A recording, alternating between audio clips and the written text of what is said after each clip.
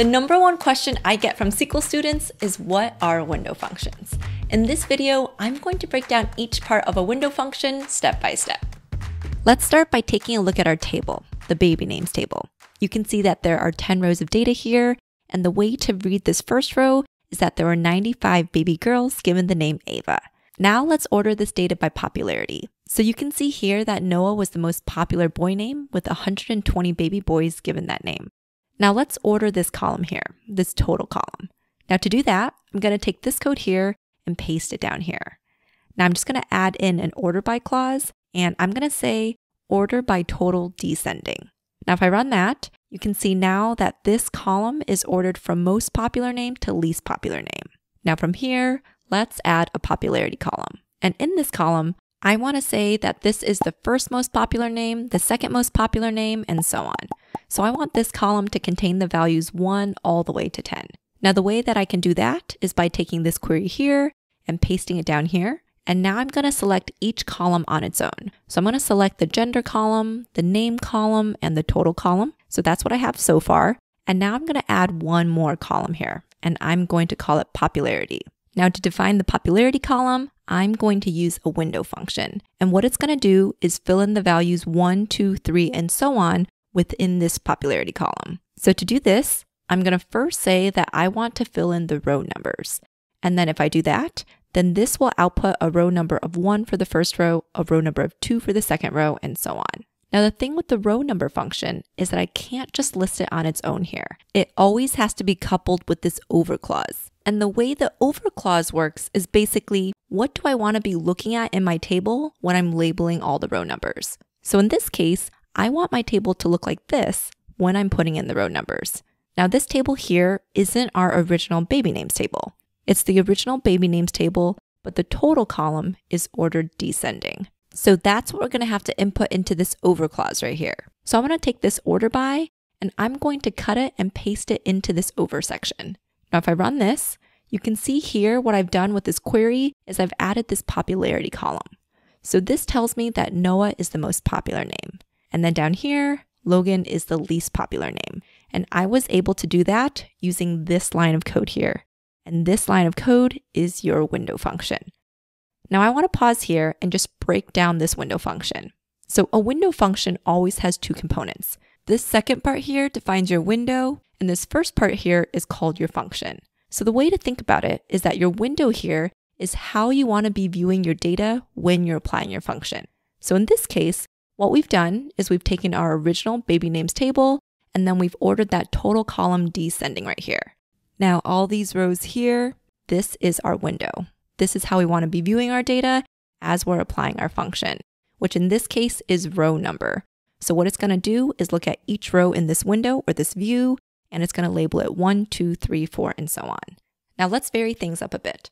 We're going to change up these functions, and we're also going to change up this window part here so that you can see how the outputs change as you modify them.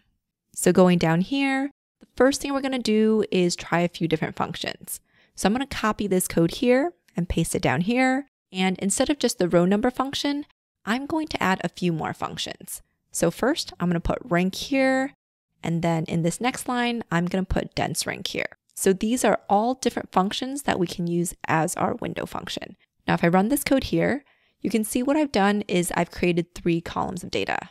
This one has my row number calculation, then my rank calculation, and my dense rank calculation. And in this case, you can see that there are slight differences between the three functions or the three calculations. In the ordering for rank, you can see that there's a tie here between Isabella and Olivia, and they both show that 5. And then for dense rank, it goes from 1 to 9, and it also includes that tie. But then it goes right to 6 instead of skipping over it. So this was an example of three different functions that you can use with window functions. And you can see that all that's happening here is that these are three different calculations you can use to label each row of your data. And these are just some of the many functions that are out there. Some other ones include first value and nth value, which return the first or nth value of each window. There's also lead and lag that will return the next or previous row's values within each window, and many others as well. But just remember that the whole goal of this function is just to make some calculation for each row of your data. So that is the function piece of a window function. Let's try modifying our window as well. So I'm going to copy our original code up here and paste it down here. And if we run this code, then you can see that this was our original output for our first window function. We have the values 1 all the way down to 10 here. Now with this, let's modify this window section. So let's say that instead of looking at the overall popularity of all the baby names, we wanted the popularity of the boy names and the girl names separately. So what we need to do now is group this gender column into a boy group and a girl group. Now the way to do this split within window functions is to use a partition by. And in this case, we want to partition by gender. So within this gender column, we want to split the rows into a boy group and a girl group.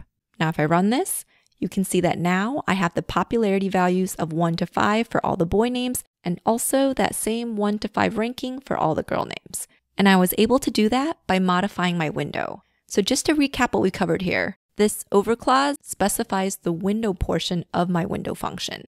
And that window is essentially the view of the table that I want when I'm applying my row number function. So in this case, when I partition by gender, the first thing I did was I split my data into a boy group and then a girl group. And then within the over clause, I also did an order by total descending.